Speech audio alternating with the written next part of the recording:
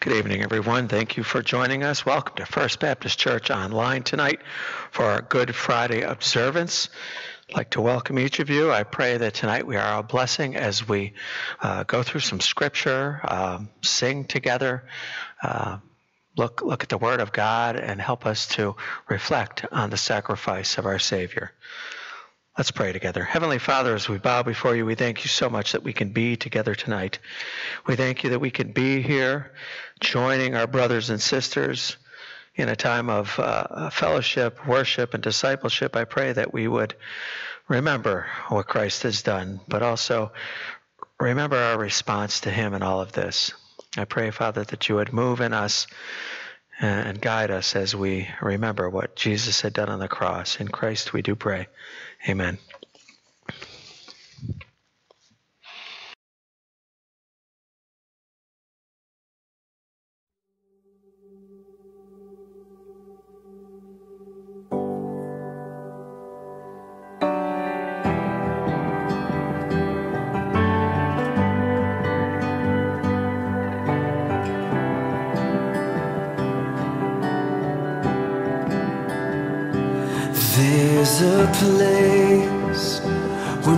Mercy reigns and never dies. There's a place where streams of grace flow deep and wide.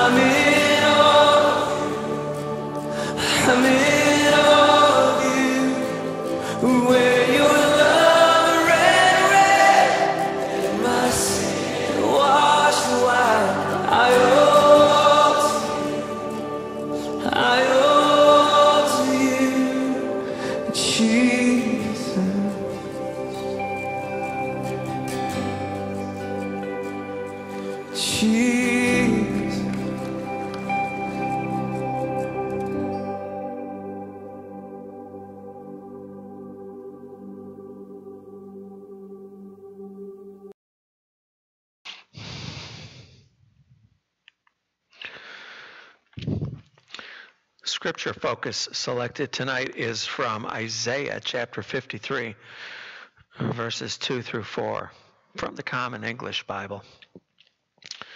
Like a young plant or a root that sprouts in dry ground, the servant grew up obeying the Lord. He wasn't some handsome king. Nothing about the way he looked made him attractive to us. He was hated and rejected. His life was filled with sorrow and terrible suffering. No one wanted to look at him. We despised him and said, He is nobody. He suffered and endured great pain for us, but we thought his suffering was punishment from God.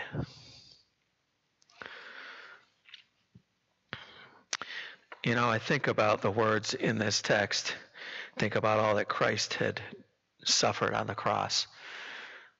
He went to the cross and gave his life for our sake because he loved us so much. Would we dare offer our lives in this way for anyone else? May we remember what Christ had done for us on the cross. Now let us sing again together.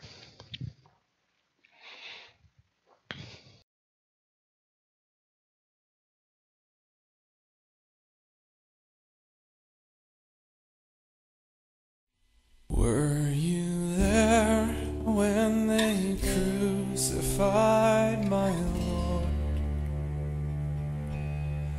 Were you there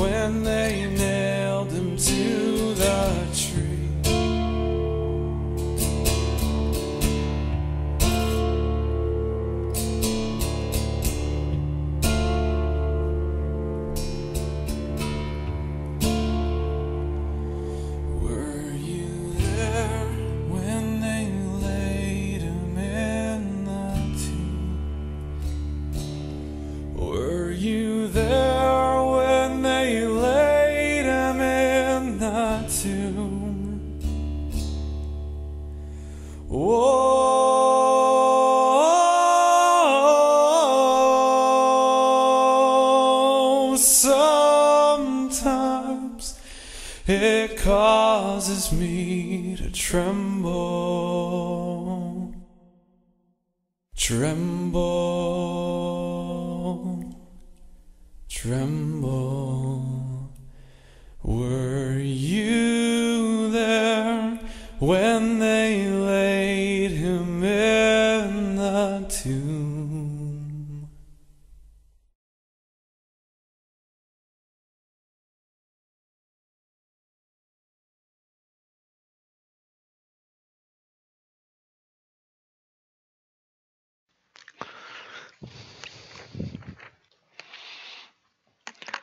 If you're following along in your Bibles tonight, please turn with me to Matthew 27.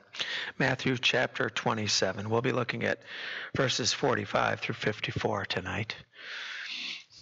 My God, why have you forsaken me? Have you ever felt abandoned, left alone? The feeling of being all alone, no one there for you if you get hurt, no one to talk with, no one to cry out to, no one to argue with or to laugh with. It's really a terrible feeling. I'm sure plenty of fe- people feel feel this way, and sometimes it's because they have chosen a path that has pushed people away from them, and so they feel alone. And maybe some of maybe somebody likes to feel that way. People can be annoying at times. Absolutely, we understand that. It would include it would include any one of us at any given point in time. Being alone, though, bottom line, is not really a good thing. It's not what we are designed for. It's not what God wanted for people. We're not built for that. We're not made for this to live lives separated from other people. And we are especially not ever to be separated from God. And yet we are born into a world separated from God at birth. Excuse me. The text I have chosen for tonight gives us a glimpse into what Jesus was feeling the day that he hung dying on the cross. We can never know exactly how he felt. We can never feel that, nor do we have to.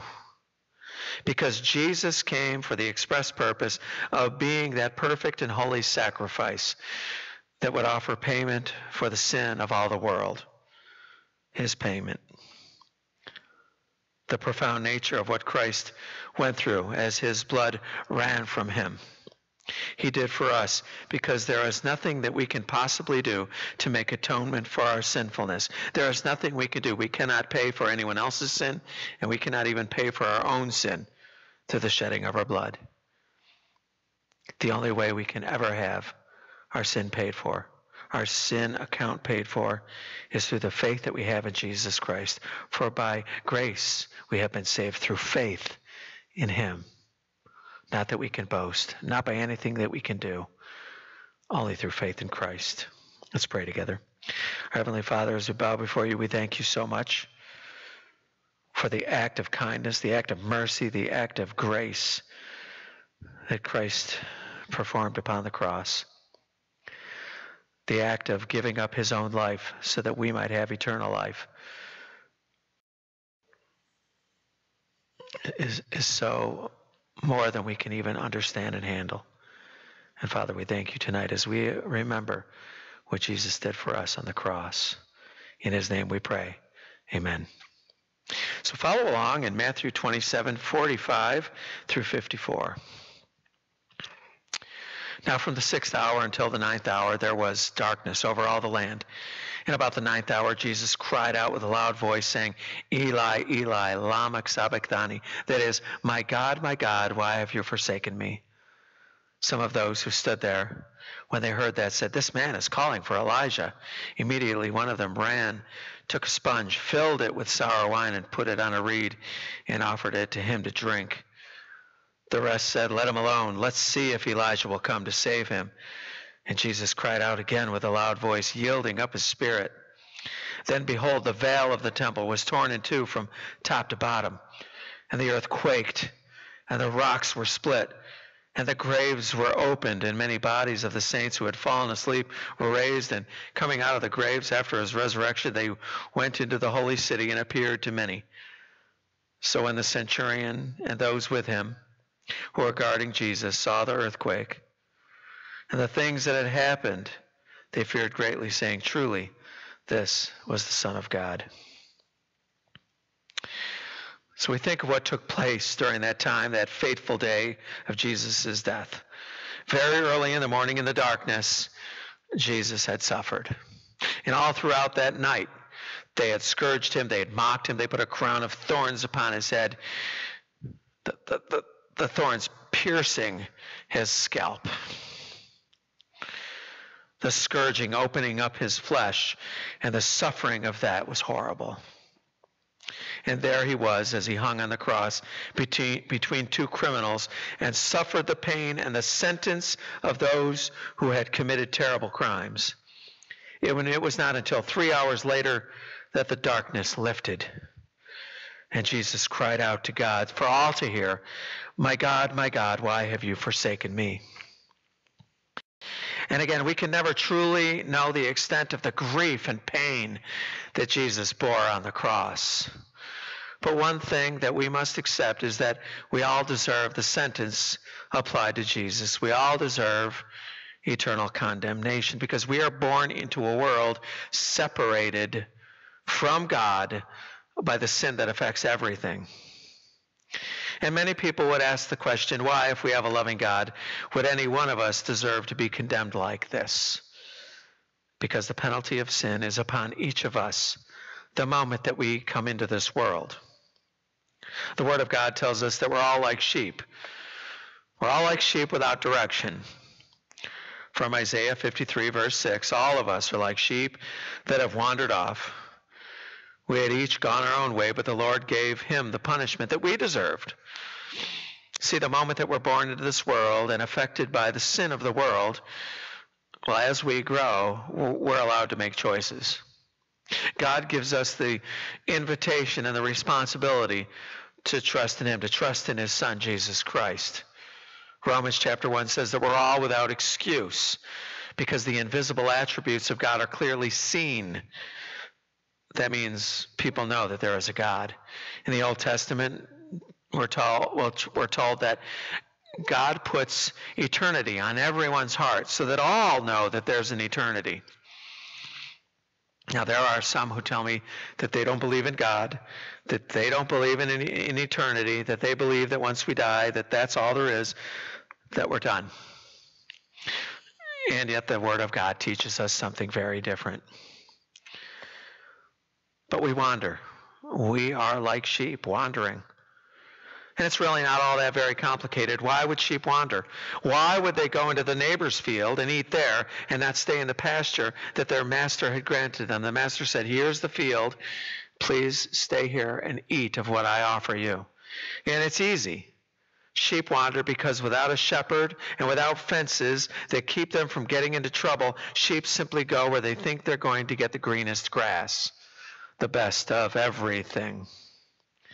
God tells us that without a shepherd, we are simply like sheep and will go wherever we think we can find what we want. But God offered us the Good Shepherd, the great Shepherd, Jesus Christ. It's up to us to ask to be joined together with Him. It's up to us to repent of our sinfulness, turn from the way of the world, and follow after Jesus. Jesus invited people to follow Him. He said, Follow me. He never forced any one person to come and follow Him. Jesus went to the cross that day as a lamb to the slaughter and became the perfect sacrifice for all of us. His shed blood paid the price for the penalty of sin that we all bear. And each and every one of us who has trusted in Christ, we still sin. And Christ paid for, for that sin as well. We all are born into a fallen world, and Jesus paid for the sin of all the world. He paid for all that sin is when he went to the cross and shed his blood. It's the propitiation, the payment in full, that perfect payment that only Christ could offer. So we're born into a fallen world. It's separated from God, and the whole of creation groans, the Bible says. It's in pain. Creation groans because it's in pain, because of separation from God that was caused by the choices of Adam and Eve and the serpent in the garden and they chose to disobey God. The cry of Christ to God the Father must have been agonizing to hear. Why have you forsaken me? Why is all of this pain on me? And why did you leave me here? Why have you left me here all alone on this cross? And at that point, I believe that Jesus, of course, knew all the answers, but cried out as a reflection of what may have been the thoughts of many in the world and may still be the thoughts of many in the world today, especially those who really want God in their lives. God, if you're real, why have you left me here all alone? What Jesus said that day is a quote from Psalm 22, verse 1 My God, my God, why have you forsaken me? Why are you so far from helping me and from the words of my groaning? the the cry of Jesus Christ on the cross would not have been missed by those who knew their scripture. But there were those who witnessed his, his outcry that day and thought he was calling for Elijah the prophet. And others mocked him.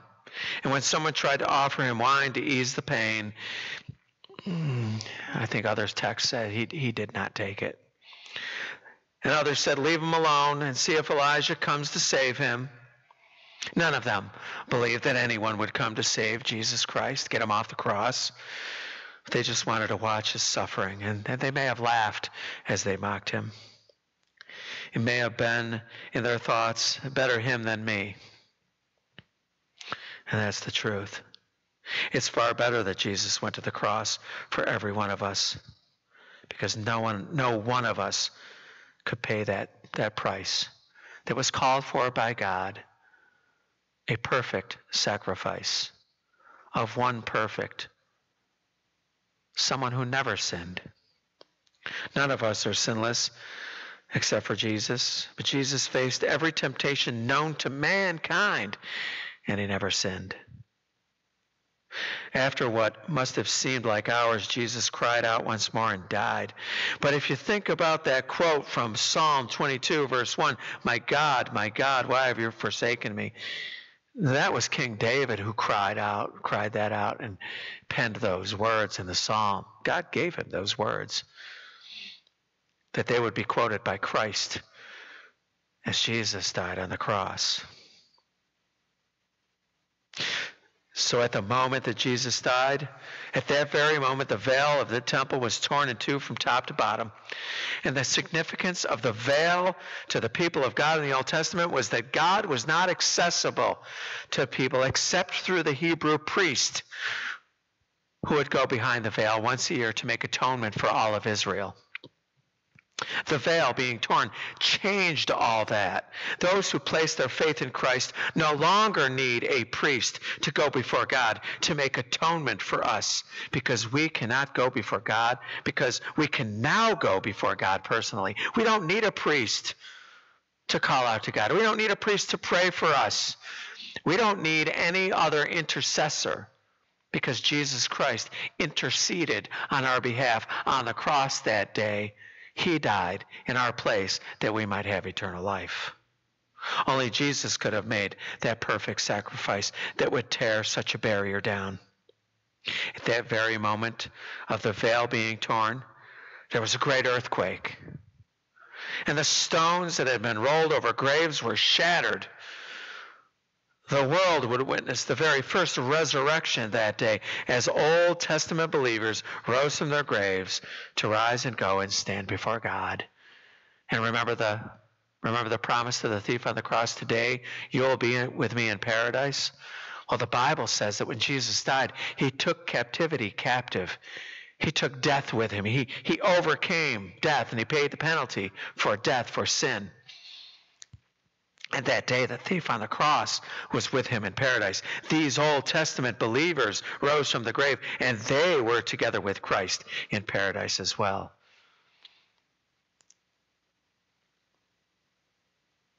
Jesus kept his promises. He kept every one of his promises. And as the, as the world shook beneath their feet, the captain of the men guarding Christ said that day, Truly, this was the Son of God. This was God's Son. He recognized the power of God at that moment, and I believe that his life was changed forever. I believe that he placed his faith in the Lord Jesus Christ. The sacrifice of Jesus' life was not an accident, nor was this crucifixion something forced upon the Savior. Jesus went to the cross willingly on our behalf because, as God with us, Emmanuel, this was always the plan of God. All of the sacrifices of the past, every Passover lamb killed to make atonement for sin, was only a way for God to teach his people to place their trust in him. The Lord had given Israel his word to provide a Messiah, a Savior who would come and offer them their freedom, and God fulfilled his promise in the Messiah. All too often, people wanted, though, their earthly freedom freedom from an earthly government, freedom from the tyranny of the Roman Empire. When Jesus came into Jerusalem that day, and people cried out, Hosanna, save us now, they were crying for an earthly king, military power. Jesus didn't come to offer that. God all God ever wanted to offer his people was the, pro- was the freedom of eternal life with him in his kingdom for all the rest of time. The message that Jesus gave us from the cross that day is this.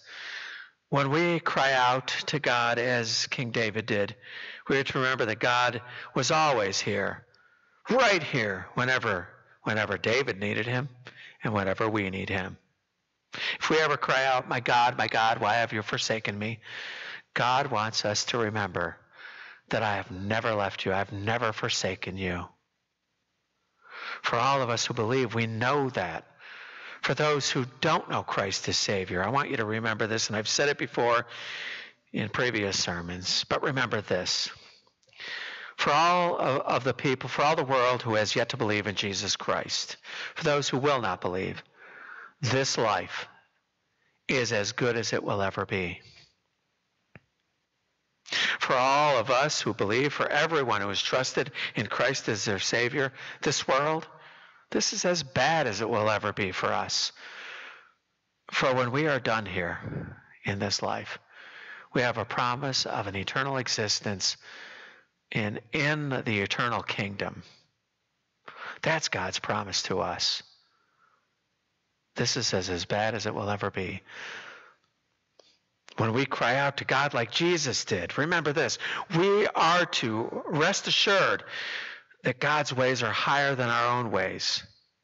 And when we really don't understand what is taking place, we must stop and listen to that still small voice of God that speaks to us from within us. And, and God speaks to unbelievers in this way He calls out to every person who has yet to trust in Him. He's calling out to you to follow Christ. Jesus is still saying to everyone, Follow me. That's the invitation. He stands at the door and knocks. And for all who open the door, he enters into their lives. This is what God wants for all of us. We're to wait on God, and he will lead us to the place of peace, perfect peace and rest, and joy in his time. Until then, we who believe must press on, press on and live the lives that God has called us to live. I pray that for anyone who has joined us tonight in this service, if you have yet to trust in Christ as Savior, that you would consider what I've shared tonight, that you would consider the invitation of God, the invitation of the voice of Christ, that still small voice that says, Follow me. Let's close in prayer. Our Father God, we thank you for our time together in your holy word.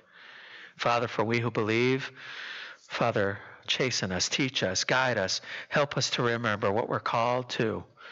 We're called to be a witness in the darkness. And Father, it seems like during this time uh, in the history of the world, it seems like a dark time. But Father, you gave us your Son, Jesus Christ, who is the light of the world. We who have trusted in him, we are to be the light in the darkness. We are to go about spreading the gospel. Father, let us be very visible to a dark world. We thank you for all the opportunities that you give to us to share our, our message of faith. In the name of Christ, we pray. Amen.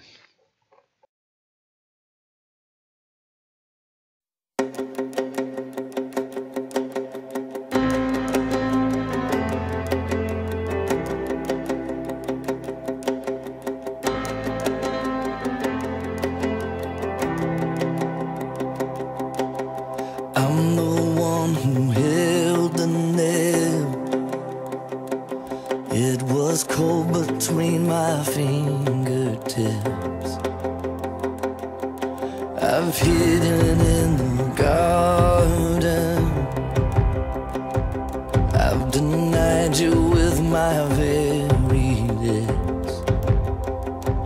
God, I fall down to my knees with a hammer in my hand. Do you look at me,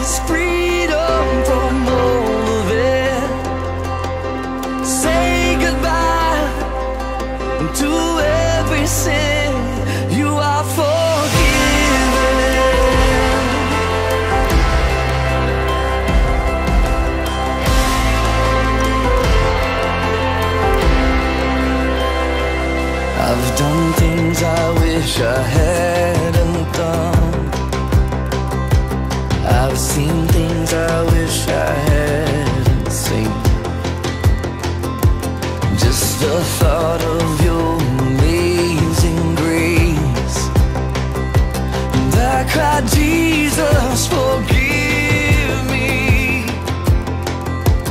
God, I fall down to my knees with a hammer in my hand.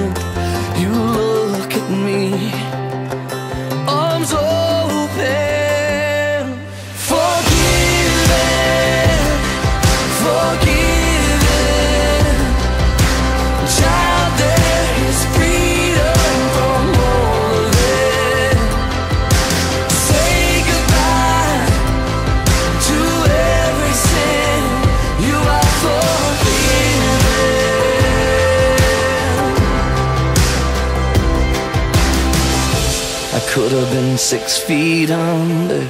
I could have been lost forever. Yeah, I should be in that fire. But now there's fire inside of me. Here I am, a dead man